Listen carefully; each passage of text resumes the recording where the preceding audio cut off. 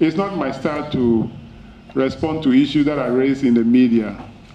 But two days ago, when we invited the health minister, he did not appear. I made some directive or recommendation that will be sending to the floor for Parliament to take decision because he doesn't respect the committee like some of you do. He doesn't come to the committee. He was on joy saying that there is nothing before the committee that warrant his appearance. I don't, yes, I don't think that he is right in doing that. To the extent of mentioning that COVID report, we're not considering COVID report. COVID didn't come to Ghana in 2018. We are considering 2018 report, so there is no way that COVID issue will come here.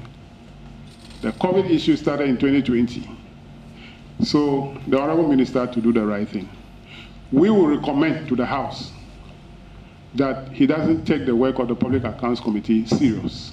That's what we do. Some of you respect the committee.